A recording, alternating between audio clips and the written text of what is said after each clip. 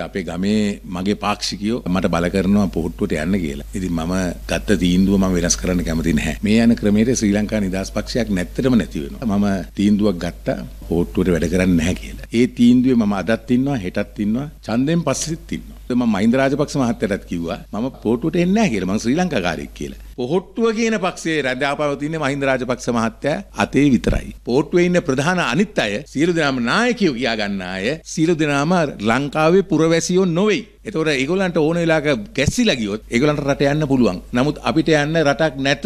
අපි ඉන්නේ මේ රටේ. ක්‍රියාවෙන් ඔප්පු කරා ඒ අය ඒගොල්ලන්ට අමාරු වැටිච්ච වෙලාවේ ඒගොල්ලන් මේ රට දාලා ගියයි කියන එක. මම ශ්‍රී ලංකා නිදහස් පක්ෂයේ අන්තිමට ඉතුරු වෙන්නේ 1000ද 2000ද ඒ අයත් එක්ක මම නැවතත් පක්ෂය ඉදිරියට ගෙනියන්න මගේ සම්පූර්ණ සහයෝගය කැපවීම මම කරනවා.